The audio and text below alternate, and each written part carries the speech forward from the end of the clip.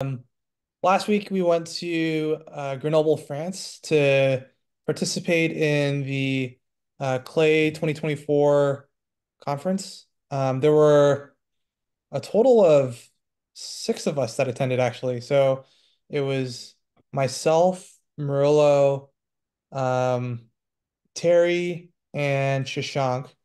Um, David also came in um, virtually as well as Wenshin. Um, so there were six of us out of the 22 who published last year. And so I just wanted to show a couple of photos from um, that time. So here's a group photo of us, uh, those who were there in person. Um, so this was on the first day, and we had we'd gone through all the sessions kind of together. Um, so this this was the um, opening, most of the opening like ceremony, most of the overviews. Um, I think there was a keynote speaker, and then um, we went to the LifeCLEF sessions. Um, so you know we were we're all hanging together, um, and it was really cool to be able to see like everyone in person because this is usually a very like online heavy um, collaboration between between us. So um, it was really cool to to just see everyone in person. Um, this is from uh, the presentation that I gave at the LifeCLEF session. This is on Monday. Um, so this is, I think, actually my uh, my first presentation at a conference where I've had to submit, um, you know, a paper. Um, I, I presented at the OMSCS conference, but this is this is felt different. Um, so I gave this presentation at the end of the day. Um, you know, some more pictures of kind of me at the podium. Um, really cool experience to be able to to just present present the research to to everyone in the the room. Um, this is me presenting um, the eRisk work. Um, so David was here for the session and he he came out to support. Um, and you know this is this is the work that we we had done together along with uh, Arian. Um, then we had some work from uh, Wenshin. So um, I managed I managed to go to see uh, Wenshin's presentations. She had two presentations, one that she did with Hang and another that she did solo. And so um, she she gave two presentations over the course of that session. Um, yeah, cool, cool to be able to like go out and, and support her. Um, mm -hmm. And then finally, we had a presentation by Shashank. Um, so this is for IDPP. Um, so you can see uh, Shashank at the front, and then me and me and Marilla just hanging out there. Um, you know, these sessions are are fairly small, but uh, yeah, like there's there's Shashank um, giving the presentation. So that's that's uh, kind of what I wanted to show. Just um, some photos of us at the at the conference. Um, I think it was a really good time, and I think there was there's a lot to lot to think about. Um, so I'm still kind of need to organize all my thoughts on that. Um, and we'll probably have a more in-depth session, um, like kind of that panel, that panel I was talking about. Um, and then I think we'll have like a proper, proper presentation. Um, yeah, David, you wanted to give your thoughts? Yeah, just to uh, complement a little bit what Anthony said, uh, I did my participation online. So basically, uh, you only have access to the, the lab that you submitted. So I only had access to the sessions from eRisk. Uh, there were there was one on Monday, one on Tuesday. I couldn't make the one on Tuesday. Uh, it's like hero time, so I had to wake up like at 5 a.m. to watch it. Uh, oh. so yeah, that's the problem with online. It's like weird times depending on your time zone. Uh, but yeah, just mostly uh, the organizers talking about uh, the tasks themselves and who submitted and the results. And, uh, you know, so Anthony present, I was, you know, proud of the work that we did uh, for our semester. And finally, uh, the organizers kind of like told that the take, the take, what are, what are the takeaways from the research or from the competition and what, what are the next directions uh, for the lab that they're organizing. So it was, it was a fun experience. Uh, I'm hoping I can make it to uh, next year, which is in Madrid. Uh, so like, yeah, that's like that's the goal. So that's it. Uh, Shashank, you're also in the room. Do you want to do you want to give some thoughts? Um, just yeah, very briefly. Yeah. Uh, yeah, very quickly, I would say uh, definitely a must attend uh, if anybody who can make it. Uh, there's a wide variety of problems and a wide variety of people that are presenting, and uh, it was a really cool experience to listen to all the different applications of all the state of the art models uh, at this time. And uh, yeah i think uh, those a lot of them are similar but you will always find something that is really ingenious and uh, really makes you want to participate in that lab next year yeah it was awesome to to see both of you there at the conference um, so yeah i'll hand things back to, to max yeah, maybe just a question uh, on top of my head. Uh, how sophisticated have been like the solutions? Is it just uh, using state-of-the-art models and getting state-of-the-art results, or were there some that's a really uh, next level? Yeah, I think I think there's like a very wide um, level of quality between different papers. So there, um, there are the best of labs um, presentations that happen in kind of the conference track. Uh, and those solutions are very methodical. So they have like baselines and state of the art and more state of the art and you know different techniques that they're all comparing against and they have um, it's kind of like a machine like you take in machine learning like those those core the analysis that you have to do um, is just very, very rigorous um, Mhm. collecting data on different hyperparameters, different models, and um, just making sure that you understand what's happening in the evaluation. Um, you know, some of the some of the solutions are um, a little more straightforward. Um, there was one presentation, for example, where they were doing multimodal evaluation um, using both text and image modalities. Um, and they had this really, they had a really interesting like architecture um, diagram, and they had, you know, many different pieces in this really sophisticated system where they had like, you know, embeddings from this one model, and then they had like, um, you know, captions generated from the image used as text embeddings, and um, they had straight image embeddings, and they put them in, in, in like one big um, transformer block that had like random multimodality masking or something. Um, and I just like, did he do an ablation? Did he do a ablation study? And they're like, oh no, we didn't have time. And so like there's there's kind of like you can get really complex, um, but you know there's experiments that if you were to submit it to um, a like ECIR or something like a, another like information retrieval conference, there's lots of work that would need to be done in order to to shape it up into Mhm. something that's that's like good good solid um work. Um, so yeah, Mhm. big range. All right. Cool. Thank you. Is there any uh did you is there any uh list of the papers that are like this conference on conference track? Yeah, you can you can look up the proceedings of CLEF 2024 and you should be able to find all of the all the papers. Yeah, yeah, all the papers, but just the conference track papers, are they Yeah. also There those are the yeah, there there's two there's two Mm. publications. So there's like the proceedings of uh CLEF 2024 and then there's the working note proceedings of CLEF 2024. Um so like one is for the like lab overviews and best of labs and um like conference track papers and the other one's for um the lab overviews and the lab submissions. All right, cool. Um, yeah, then uh, does anybody else has any questions? Uh, hello. Um, I have questions. Um, yeah, I, I saw that uh, Annie and Morello go to the um, conference uh, on set.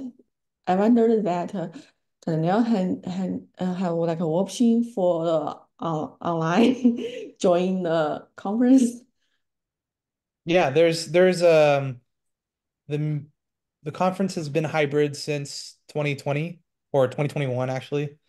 Uh or actually 2021 was online only. So since 2022 they've been hybrid. Um Wenshin who led the BioASQ session actually presented from online. So she's from the West Coast and um she had to wake up at you know like 4 or 5 a.m. or something um in order to give her presentation, but there is an option to attend online. Um, just the time zone will be European European time zone. Oh, that sounds good. Thank you. And another question that um uh when the uh, next year I I mean 2025 uh the lab the lab task will be published?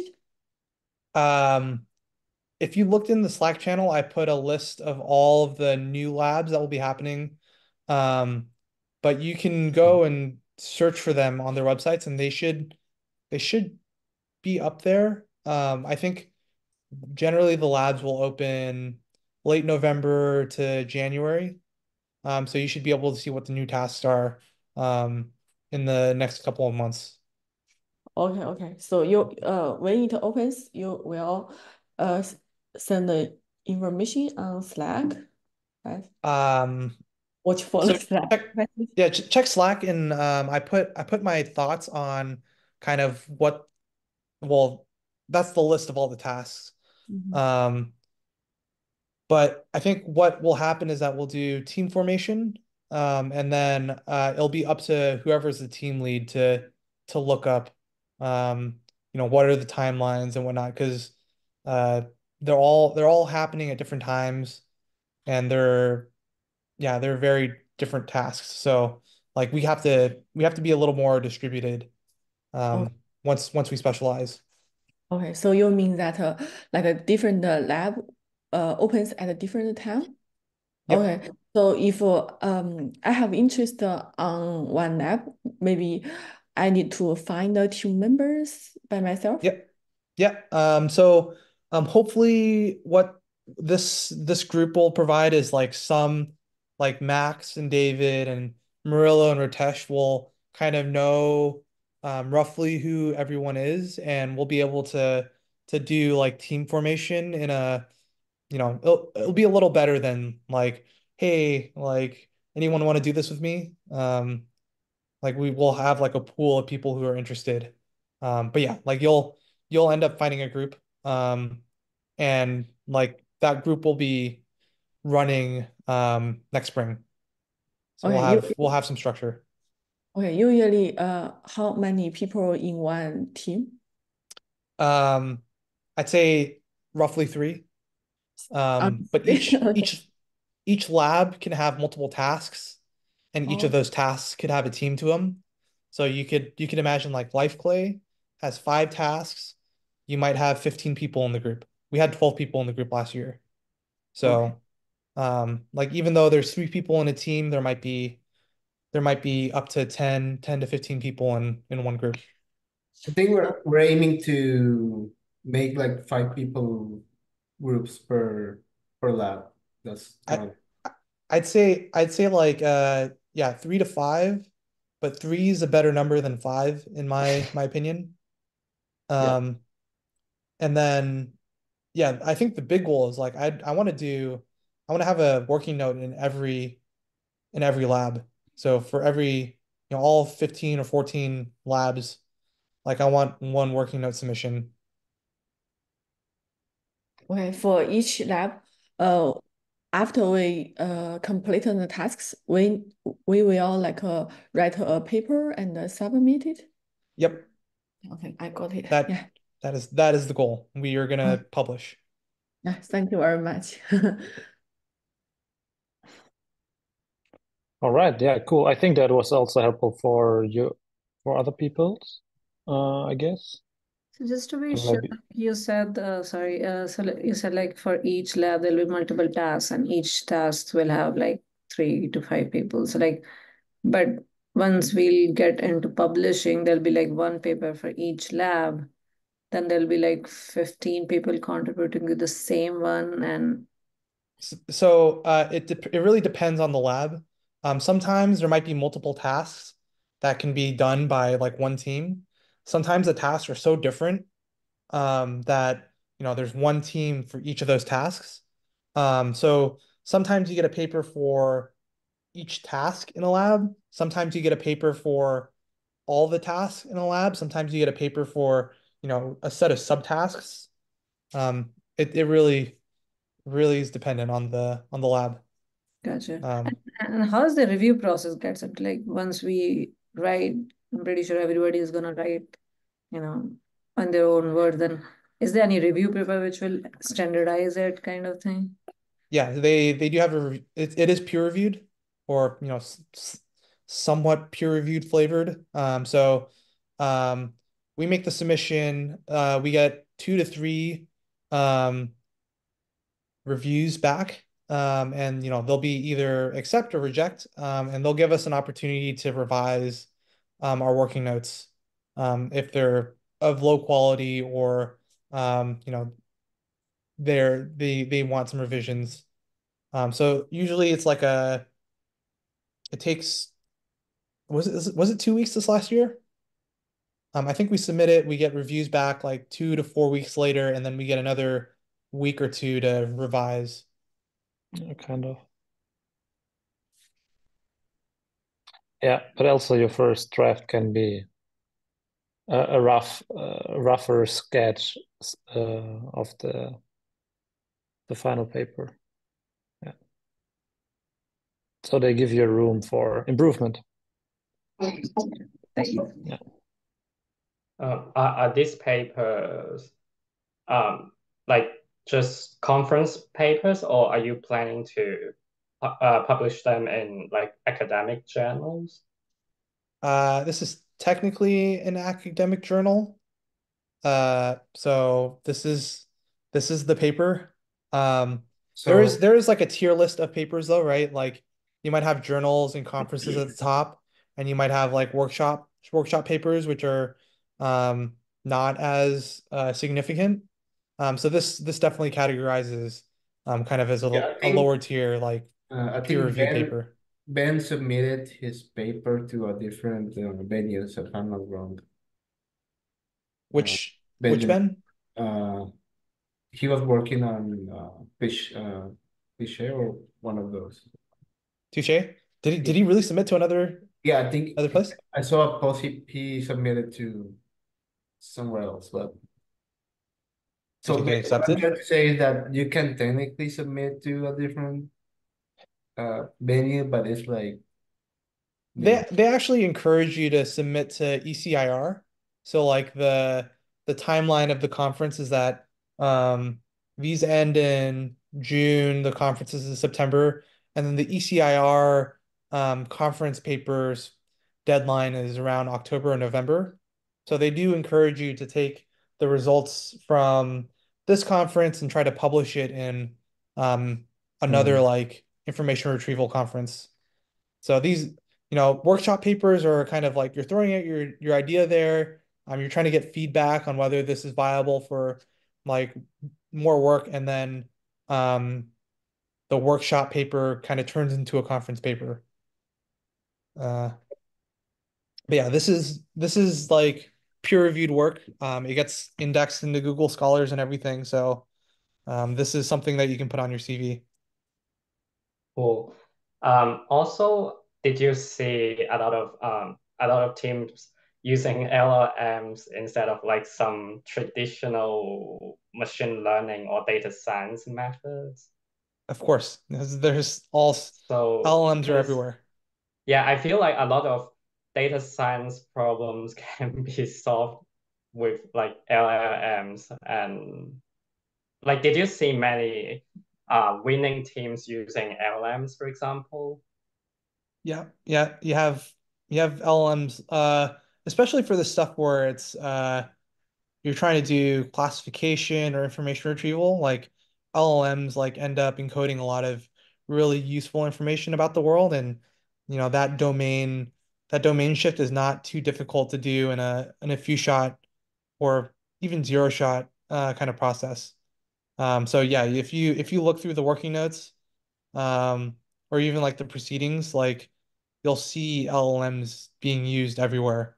Um, the focus the focus of the conference is information retrieval, and it mm-hmm. like um, you know language. It's like it's almost an NLP conference um, with a, a few like image tasks um, here or there. So you do see a lot of LMs. You also do see a lot of like BERT, like BERT style like architectures um used everywhere because like that's the only way that you can do fine tuning. Um, okay. yeah, you see you see lots of like GPT models, Mixtral, Llama, like all all of those. So like uh the um like assessment it's only looking at um like your your um uh like final score instead of like um efficiency like you know like because if you are using LLMs you may need like uh some really powerful machine I don't know like depending on how big your model is yeah Depends on the competition. Um, but yeah, like uh, you know, some com some competitions have like a time limit. Um, if it's like a code competition, some competitions don't care. Like just give you build a, a information retrieval system and you submit the results.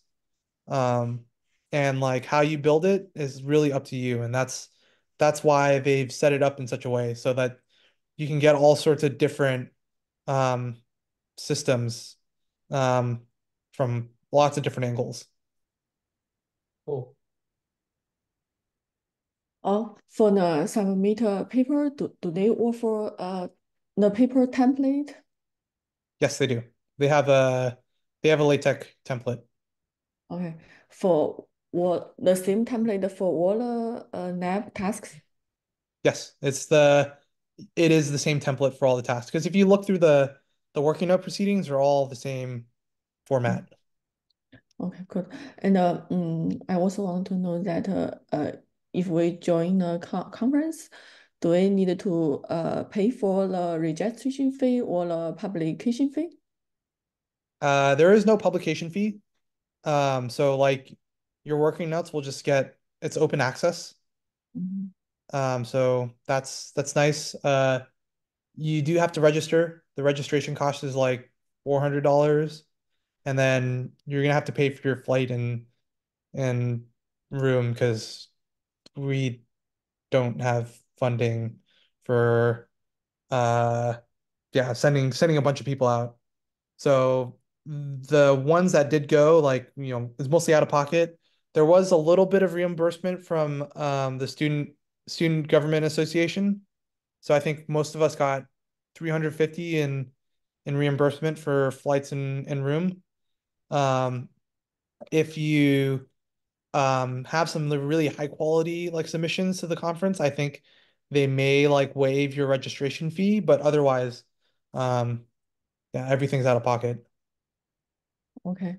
Um, yeah, uh, only when our uh, paper be submitted, so uh, they will send the invitation for the conference, then we reject the conference, right? Uh, no, there's uh, yeah, if you submit a working note, like, um, there's no obligation to to present it. So you don't like you can submit a thing and just not show up, and that's okay. Okay. Uh, so you, you mean um only uh, uh, if you submit, then you can uh, reject the conference, not needed to be accepted? Uh, I, I'm not sure I quite understand your question, but I, I uh, mean, you want to go to the conference only after your paper was accepted, so you can go to the conference. yeah, I mean, like, yeah, that's like uh that's the whole the whole purpose of going to the conference is to like meet other people who've done the same thing as you and to to like listen to what other people have done and to to network and stuff. Um, you can go without without submitting anything. I think it's a good experience for for folks to like be in this kind of environment. Um, but yeah, like sometimes you might want to see if you get accepted before you you spend a bunch of money like flying out. Yeah, good. Thank you.